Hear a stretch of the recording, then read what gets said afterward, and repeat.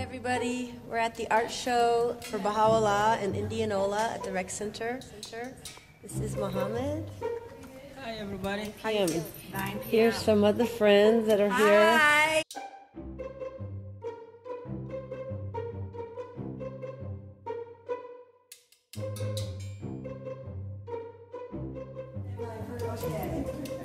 She was one of the first Baha'is in Iran. And she was a Babi, a follower of the Bab, who was a forerunner of Baha'u'llah. And her name, Tahira, is a title that means the pure one. That was a title given to her by Baha'u'llah. And she actually would educate women, village by village, um, about equality of women and men. I'm just going to go from picture to picture.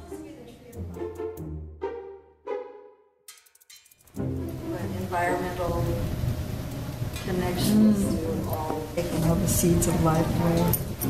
And uh, it's got all the animals, creatures, birds. And it's got a dolphin here, mm -hmm. really close in.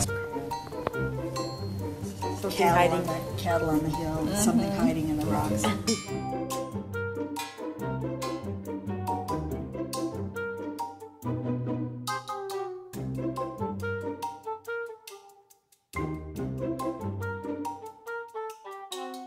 thank